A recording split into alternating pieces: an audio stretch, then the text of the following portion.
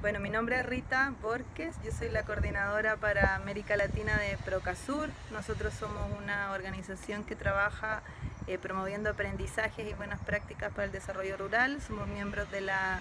eh, ILC en América Latina, somos punto focal del tema de juventud y acceso a tierra y también participamos en África y en Asia de los temas de tierra.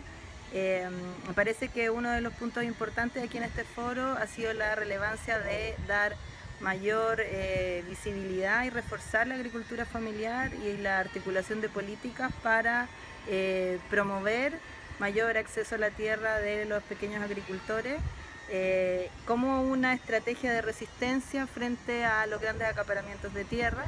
Y dentro de eso a nosotros nos parece muy relevante poder fortalecer la inclusión de los jóvenes y su acceso a tierra su participación en las organizaciones campesinas y también la voz de los jóvenes dentro del debate sobre los derechos de tierra. Y esperamos que al final del foro eh, finalmente se pueda eh, mejorar la perspectiva de la inclusión de los jóvenes y de las mujeres también eh, y sus derechos a tierra en el debate sobre agricultura familiar, generar una nueva visión